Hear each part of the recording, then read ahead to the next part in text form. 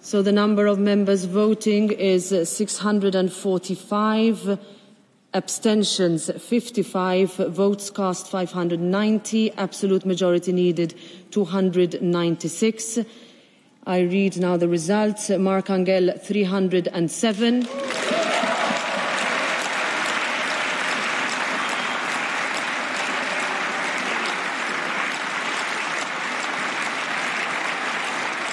Annalisa, I will continue to read the results.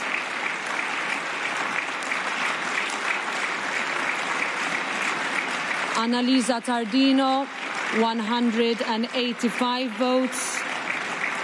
And Gwendoline Delbos Corfield, 90, uh, 98 votes. That means that Marc Angel has been elected Vice President of uh, the European Parliament. Congratulations to Mr. Angel.